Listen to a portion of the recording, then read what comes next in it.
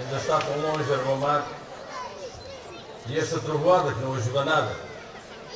Caminhamos, caminhamos e parece que não saímos do mesmo sítio. Eu bem disse, Pedro Vaz.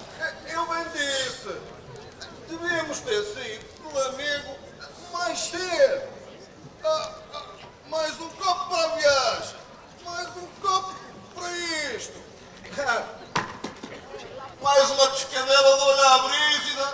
Ah, e fecho noite. E agora, Pedro Vaz? Estamos para aqui perdidos, no meio de ninhudos. Só pedras no caminho. Se não fossem relâmpagos, nem as vias, era tudo de certeza. Tombavas, tombavas. Mas era por causa do vinho da taberna do judeu. Enxurcaste que não te há tempo. Não caminhas direito. E fui só eu? Hã? Oh pai, levas a lamparina do azeite à frente e não alumias nada. Alumia-me o caminho, senão fico estendido ou comprido.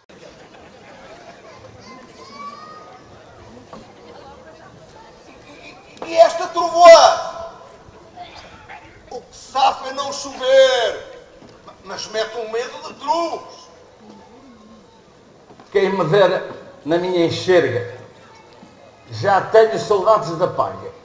Dormia até ao amanhecer.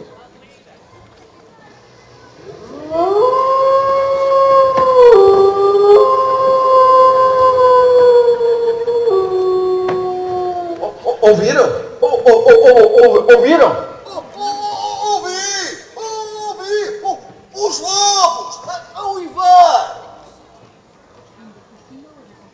Ainda por cima, levas um naco de presunto! Pois levo, se calhar são atraídos pelo cheiro. Mas pode ser que não seja nada. Mas olhai, agora sabia bem não, mais uma canaquita. Mas que venham esses malvados! Que, que venham! Eu tenho um pau! Tens um pau. E depois? De que te vale o pau se eles forem muitos?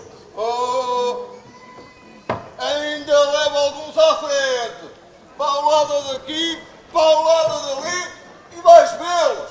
Estendidos ao comprido! Ah, São Miguel nos proteja. E nós ainda tão longe de casa. Viemos comerciar ao amigo, vender os queijos e os ovos e algum fumeiro. Bom preço! Ainda bem que mercanciamos tudo! Bom preço que consegui!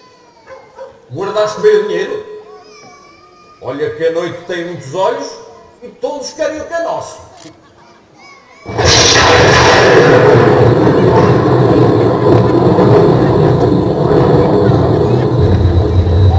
Oh, olhem, olhem mais um trovão!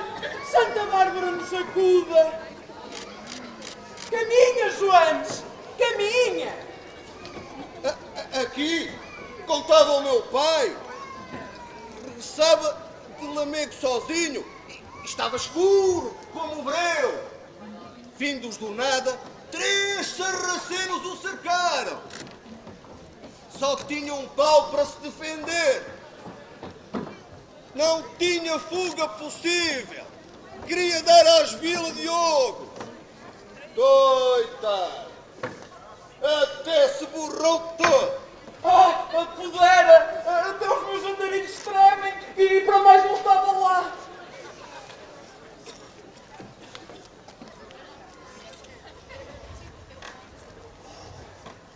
A passou-lhe à frente dos olhos, que era desta que partia de abalar. Eles rodeavam-no, gritavam num linguajar que ele não percebia nada. Dia de tempestade, daquelas trovoadas, como hoje, que fazia medo.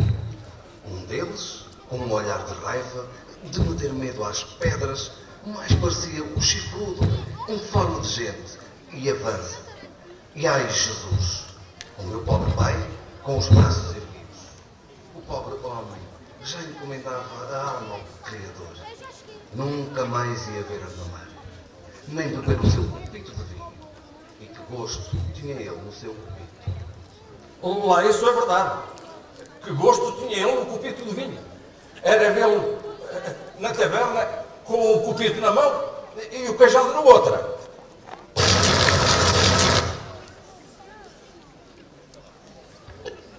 De repente, e aqui, o meu pobre pai vencia-se sempre e clamava, olhando para o céu.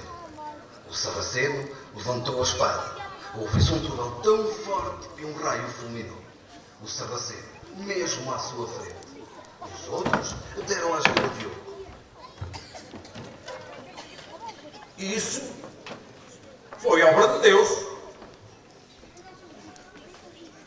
Nesse dia, decidiu construir a igreja de São Miguel com as suas próprias mãos.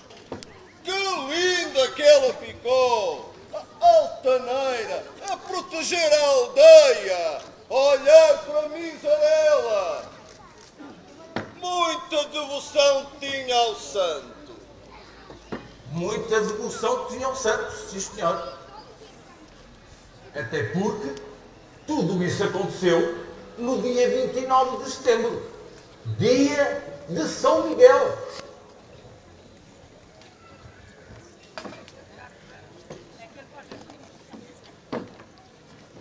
Oh, olha lá, ó meu contador de histórias.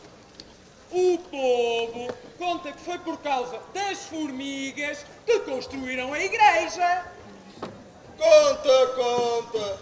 Mas onde é que aqui houve um rei e uma rainha? Só em sonhos. Só em sonhos. A minha mãe contava-nos muitas vezes essa história, à noite, à lareira. Ah, eu também ouvi essa história. Mas o meu pai ria sempre.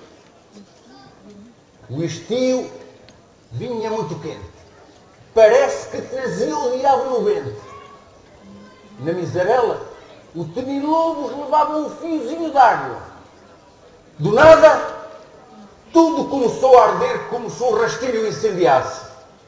As pessoas fugiam, pediam a Deus clemência, perdão pelos seus pecados. Diziam que era castigo divino. Sempre ouvi. Nove meses de inverno e, e três de inverno.